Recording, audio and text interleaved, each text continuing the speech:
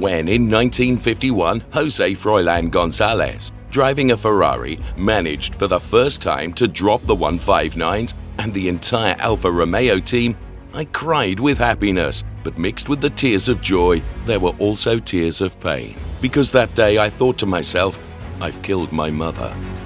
That's what Enzo Ferrari wrote in his book Ferrari 80. The mother in question was Alfa Romeo, for whom he had been a test driver, racer, and head of the race department.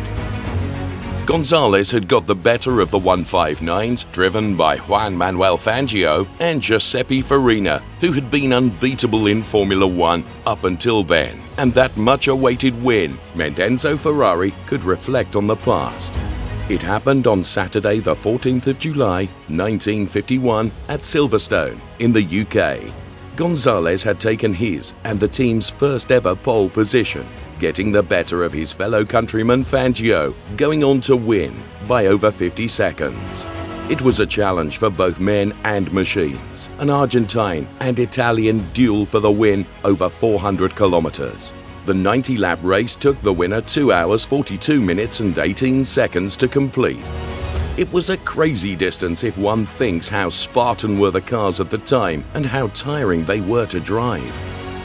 It was a closely fought contest, with plenty of overtaking, and Gonzalez's win owed something to the class of his team leader Alberto Ascari, who refused the offer to take over his teammate's car, as was permitted in the rules after he'd had to retire with a gearbox failure.